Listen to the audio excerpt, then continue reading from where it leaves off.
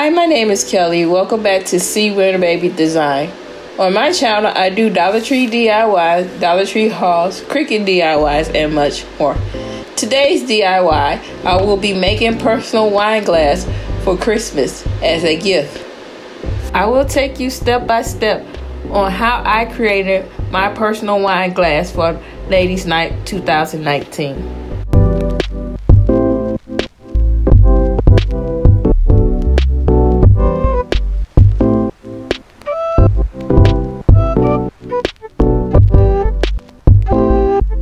My cousin came up with the idea of making personal wine glass for her friends for Lady Night 2019 this past Saturday. So what I did was go on to my Cricut design space and created the slips as well as the lettering on the wine glass. If you want to see much more on how I made the design on Cricut design space, stick around. Part 2 of the video will be uploaded tomorrow. What you need to do this project, you will need a Cricut Maker or a Cricut Explore Air 2, Cricut vinyl.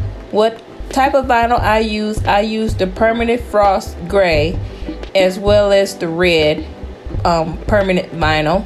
You will need a rotary cutter as well as a ruler to cut the vinyl on the mat.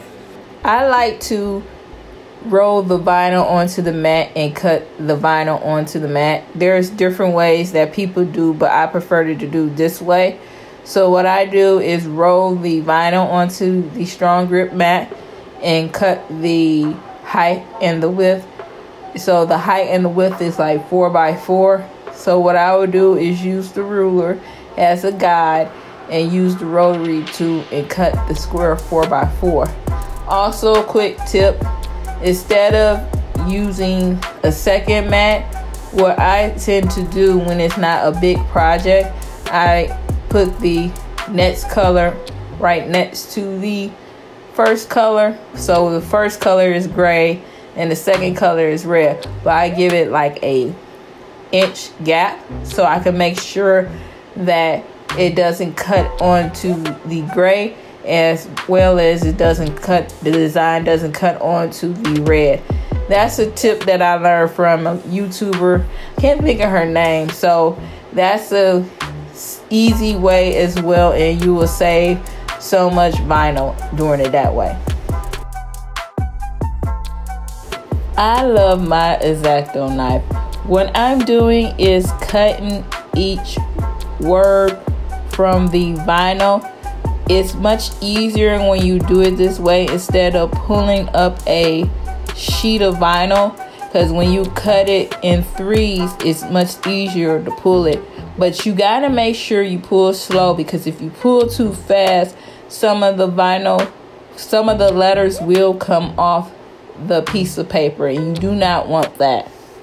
Next i am weeding the vinyl from the paper so what be left is the letters on the paper itself. I can't think of the name of the tools, but I'm gonna call the first tool I'm using is a hook, and the second one is like a pick. So I use the pick to get like the vinyl in the O's and the little, you know, you see it when I'm talking about.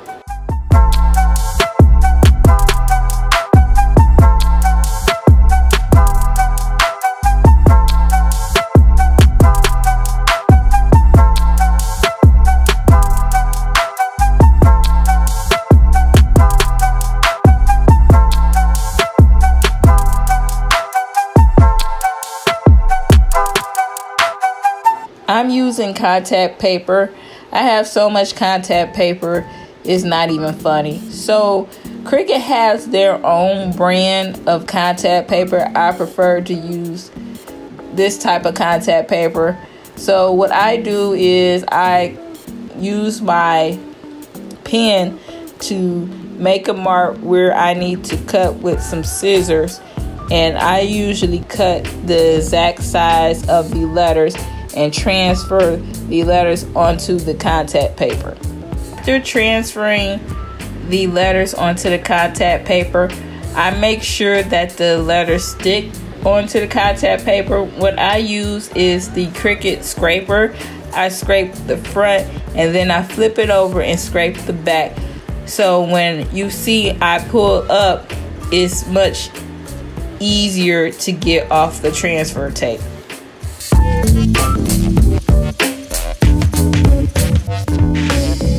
How to remove the lips from the transfer tape. I use the wing tool and get between the contact paper and the transfer tape. I purchased the rubbing alcohol from Dollar Tree as well as the spray bottle. When you spray it on the glass, what you do is you get a paper towel and or newspaper to wipe the alcohol off the glass. You got to make sure that the glass is dry before you put the permanent frost tape onto the glass.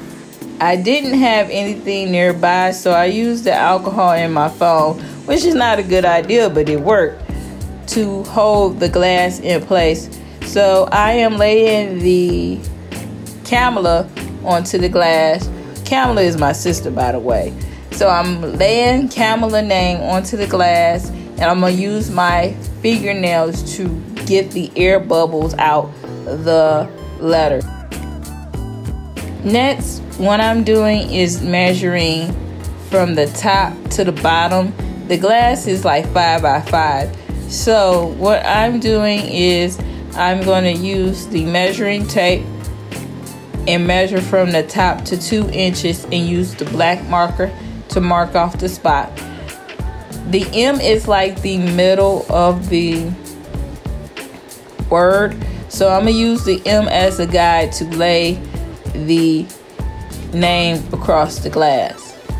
Once I laid the name across the glass, I did like two and a half inches away from the name and put a new mark onto the glass and then I measured down from two inches and put a custom sailor. My sister, she is a custom sailor. That's her nickname. I spray the glass for one last time to remove the markers on the glass. It's not permanent on the glass because when you spray the alcohol, the solution get the permanent marker off.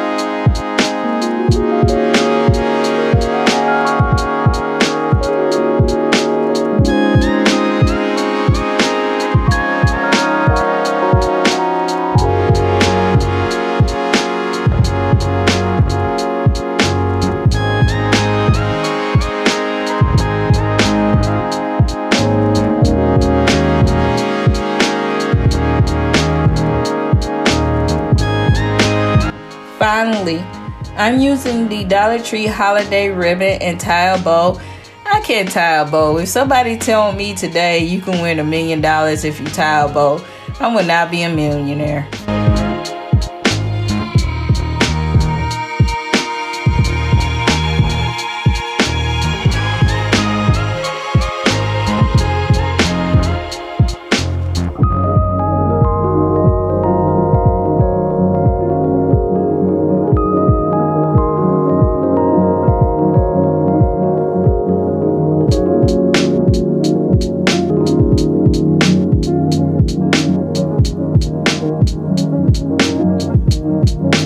Hear how the rest of the wine glass turned out that I did for my cousin for her ladies' night 2019 ugly sweater party that was this Saturday.